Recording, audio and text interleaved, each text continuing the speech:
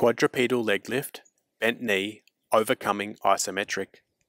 The quadrupedal bent knee overcoming isometric leg lift is an exercise used for strengthening hip abduction by targeting the glutes. Hip abduction is important in both gymnastics and weightlifting movements.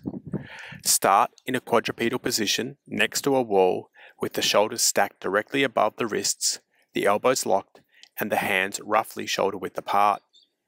The hips are stacked directly above the knees, and the knees are shoulder width apart. This allows us to set a nice flat back.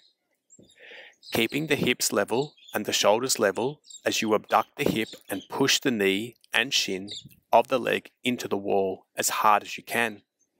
Focus on contracting the glutes and holding the isometric contraction for the prescribed period of time. Do not allow the torso to twist.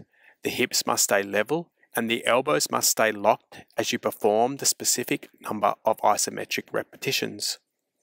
Next, move away from the wall and perform one more repetition, lifting the leg as high as mobility will allow and holding for the specified time at the top of the rep.